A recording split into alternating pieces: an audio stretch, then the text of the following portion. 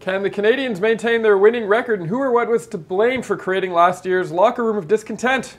That and more in this week's Hockey Inside Out.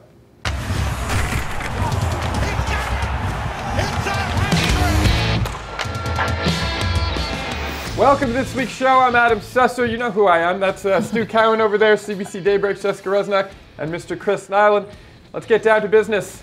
If you predicted that the Canadiens were going to have a 6-2 2 record 10 games into the season, please contact me on Facebook because I'd like to know what type of legal cannabis you've been smoking. The Habs' early success has been a team effort with all four lines doing their part and everyone buying into Claude Julien's system. After 10 games, who would you choose as the Canadiens' MVP?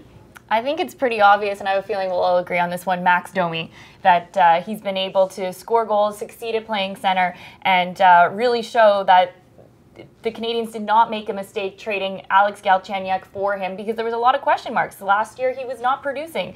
Uh, he had nine goals, I believe, and four of them were empty netters. So um, to me, Max Domi is the MVP. I think one of the underrated MVPs is Jeff Petry you know, Shea Weber gone. There's a huge hole as the number one def- defenseman, and, and Jeff Petry has done a much better job this year than he did last year. He was sort of thrust into it. I agree with you. Domi is the MVP, but I think sort of the underrated MVP through the first 10 games is Petry. He's right up there among the team leaders in scoring. He's playing a lot of minutes, playing much better defensively after being, I think it was minus 30 last year. So uh, as, he's been a real nice MVP type defenseman so far this season. Yeah, I, I like going with Domi here too because – even though he's leading the team in points and all that, and, and that's not the reason I'm picking him. Uh, you know, when he was traded here uh, for Alex Galchenyuk, Marc Bergevin said that there's more to Max Domi than uh, goals and assists and his passing ability. And I think he's, he's, he's brought that and shown us what Marc Bergevin was talking about. And to me, um, to have a guy like that in your team, he's kind of – maybe not quite like Al, uh, Alex Radulov as far as a guy who who drags everybody else into the fight, but he's pretty close to it. And um, you know, to me, he's, he's just a great addition for this team moving forward. What I like about Domi is he works as hard as Brendan Gallagher, and he's got better skills. I mean, at least two or three times a game, he'll make a pass where I'll go, wow, how did he see that mm-hmm. guy? He's got such great vision. He works hard, and he's also got a mean streak, which he showed against Dallas when he took a shot there, and he did a good two-handed swing at the defenseman who gave it to him. He's not afraid, like Gallagher, he's not afraid of going to the dirty areas. He's not afraid of sticking his nose in there, and he's a little guy who plays bigger than his size, just like Gallagher, just like Byron. Do you think uh, Joel Armia should continue to get time on the power play? He's, he's played 191 career NHL games. He has zero power play goals. I mean, a lot of that has to do with he wasn't really used on the power play in Winnipeg, but he's not a real offensive threat. I know, I understand why Julien has him there. He's a big body, and I want that big body presence. But we're talking about Domi playing bigger than his size. Armia plays smaller than his size. Mm. If you want size in front of the net, you might even throw like a Deslauriers out there just to create havoc in front of the net and at least be a, a more of a presence there. So I don't. I mean, after the game. Uh, uh, Julien said, well, you know, we, we know he can score and we're going to give him time and it's going to come and we'll see. But how long are you going to wait before you put somebody else? As I said, if you're looking for a big body presence, you even put a smaller guy out there who's a little bit more physical than him for a presence in front of the net. I think for Halloween, he should dress up as a ghost because yeah. that's basically what he's been so far on the Habs lineup. That he's not someone that you've noticed. I've found in the preseason, you, you know, you could get excited with him. He showed glimpses and you were saying, okay, this can really work out for the Montreal Canadiens. But so far this season, he he really hasn't done anything. And a lot of times you forget that he's even in the lineup because you don't see him doing anything. Yeah, you know, it's, it, it's tough. And I, I look at this kid because he does have the size, has the skating ability, can handle the puck. He doesn't have that finish. And I think that's, um, you know, we saw that with a player we had here for years in Lars Eller. You know, he would do some amazing things and then you know, he'd go in on the goalie and hit the organist in the head. um, Yahoo! Um, but I, I again, on me, I, yeah, he is struggling, but uh, hopefully, uh, with time, he'll come around. Here's the deal: uh, one thing I don't see him being is really assertive. Really, when he gets around the net, digging in or in the corners, you know, I see glimpses of it, but um, you know, he he certainly has to uh, have more get up and go, more drive, uh, or he's never going to score. No, the first period against Dallas, there was one play where there was a rebound, came out in front of the net, and it sat there for about a second. And Army is sort of tried to get there. Like if Brendan Gallagher's on the ice, that puck's in the back of the net. There's no doubt about it. So he's got to get more. You wonder if he has it in him, but he's just that aggressiveness just seems to be missing. I mean, he is, you know, Chris said he can skate. He's got size. He's got all that stuff. I mean, Jacob De La Rose had all that too, but you just need to have. He needs more of that grit, I think, to go to the dirty area. Uh, Carey Price shut out the Bruins on Saturday night in Boston. Do you think that was a that was a statement game made by Price and the team? No, I don't know so much a statement game. Um, anytime you go into Boston, it's going to be a difficult game, uh, whether it was the 60s, 70s, 80s, or what it is today. Uh, the game has changed somewhat, but to go into Boston, the team they have, uh, again, they get the big line, and to me, shutting down the big line was a big thing. And uh, they did one hell of a job uh, against that team. Price obviously focused uh, back on his game. They were able to do good on the penalty kill in Boston, and uh, something they've certainly struggled at. They're 19th on the power play, 19th on the penalty kill. Uh, things aren't good in special teams, but to go in there and win uh, like that, um, yeah, is it a statement? It's just so early in the season, you know. I think if it was, you know, the last month of the season and you know, last week, and you're, you're going to face Boston in the playoffs, um, it could be looked at as a statement game. So you think they'll make the playoffs? This is the first we're, we're talking like this. No, I this didn't say in a while. that. I didn't say that Okay. at all. No, I, I think it was a good bounce back game for them in Boston because they played. They didn't play well the night before in Buffalo, and now it'll be interesting to see how they can bounce back from the game against Dallas and if they can. But to me, Canadiens games in Boston have never been the same since Knuckles was playing. His buddy Sergio Momesso tweeted the other day about blaming you for making him get in a fight in a hallway in Boston. Yeah, he blaming me. I said, no, no, no, Sergio. Blame them. You're causing fights indirectly. But it was, I mean, it was it was a good bounce back game. And Boston's always a tough place to win. And you know, Carey Price with the shutout, it was his first shutout in almost a calendar year. Um, so whether he can continue that back, you know, against Dallas, things didn't go as well. It wasn't Carey Price's fault, but uh, um, we'll see. I mean, it was uh, we'll see. As I said, they haven't lost two games in a row yet, and that'll be a key going forward. We'll see if they can bounce back from what happened against Dallas. And I think it's just players elevating their game for big games that they know going into Boston. It's an exciting one for people who don't necessarily watch the Habs. They might tune into this one because of the Boston and Montreal rivalry. And I think it was just the first taste of it. And they're trying to uh, show the new and improved Montreal Canadiens team that wants to work uh, every single night. And having the addition of trying to bounce back from Buffalo was just a good combination, and it worked out to their favor. Do you feel like this team has more of an identity this year than they did last year or the year before even? Somewhat so, but um, they're certainly going to have a, a tough time uh, maintaining that identity. You know, it's a long season, uh, small, fast team. That's great, but um, already, y- you know, when you look at this, this young season, they've been okay injury-wise, but it's going to catch up with them. And uh, the longer this season goes, the tougher the games are going to get. January, February. Just think about Tuesday night in February in Columbus. I mean, they they've got to start getting more than just penalties out of their fourth line.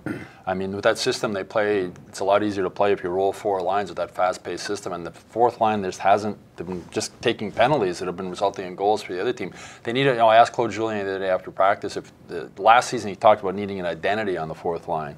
And I said, "What's your identity for this year?" And he said, "There's sort of two identities." He said, "One sort of a faster fourth line for depending on which team you're playing against, and one is more of a gritty fourth line. But I think he's got to sort of find the regular fourth line and let them develop some chemistry together because playing that system and not being able to play your fourth line in the third period just tires out your other three Right. lines and then they fall apart. Okay.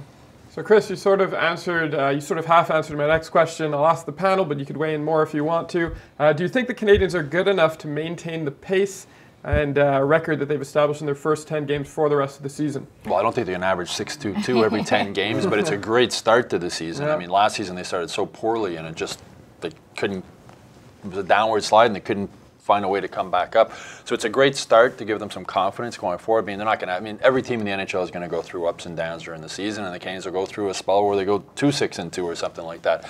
Uh, it's all about bouncing back and whether they can bounce back and stop the downslide they had last year when things do start to go bad a little bit. Well, I think their ability to bounce back has really been shown in the last few games.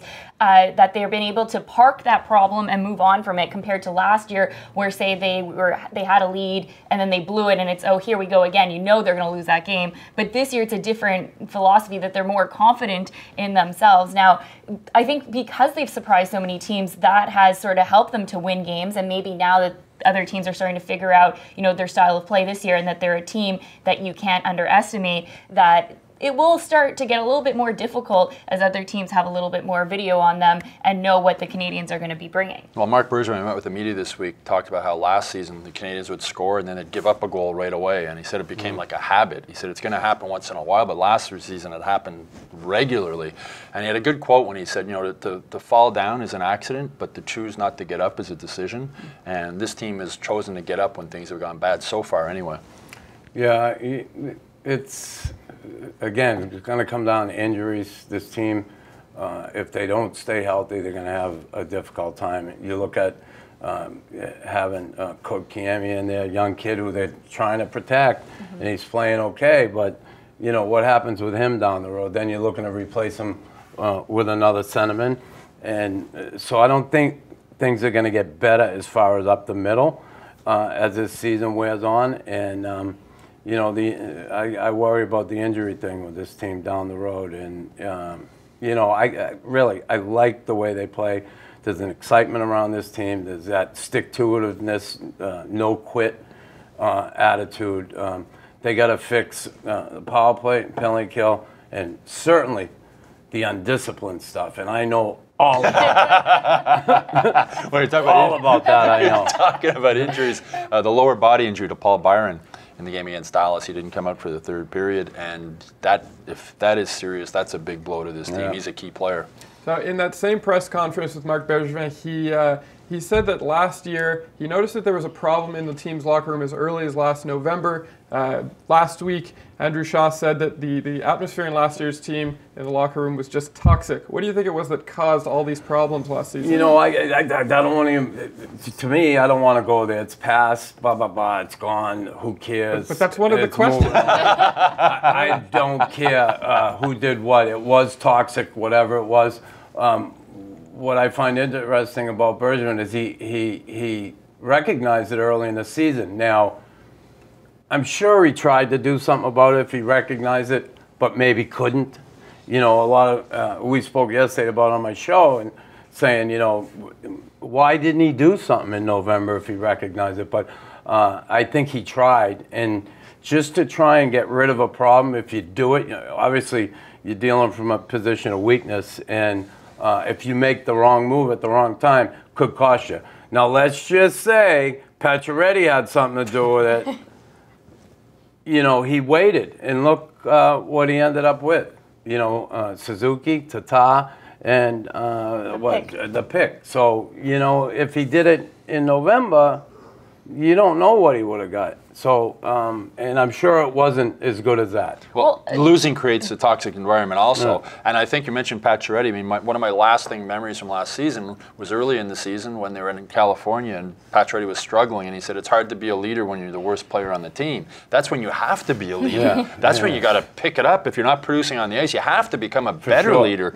And it's, in hindsight, I'm sure it's something he wishes he didn't say, but Max always spoke from his heart, and, and which as a journalist was great. You like the guys who aren't just talking cliches. But at the time, I remember thinking that's something Shea Weber would never say. Mm. I don't even think he'd think it, but well, if he was thinking smart. it, he wouldn't say it. Because he's but, smart. But it was it was a case of the type of guy who would think that. it was a case of I think them emotional, vulnerable guys, Stu, don't you?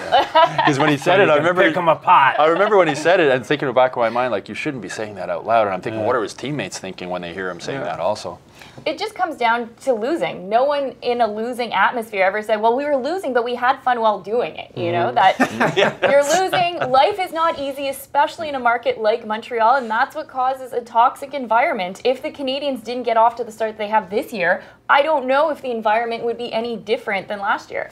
I think Shea Weber, even though he hasn't played yet, I think him just having the C, I think is part of it. I mean, he's around. You see him. we don't see him in the meeting. I, mean, I saw him leaving uh, with Andrew Shaw after the game uh, against Dallas. So he's around the team, and I think. I wonder if maybe Weber felt he didn't really want to step on Pacioretty's toes too much when he first came here as the captain. I mean, now it's his team. Now he's the captain of the team. So I wonder how much that has had an impact. And I've said it before. In hindsight, I'm Bergevin, I'm sure, wishes he probably should have taken the captaincy off of Pacioretty when he first got Weber, and I think it might have been a bit of a different environment.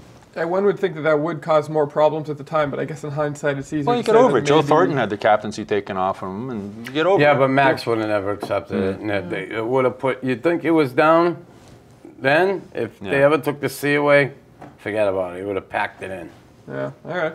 Well, on that note, it is the end of this week's show. We want to thank you all for tuning in. Are the Canadiens as good as their current record, or are they just on a hot streak? Let us know in the comments section below. I'm Adam Susser, and I'll see you back here next Thursday.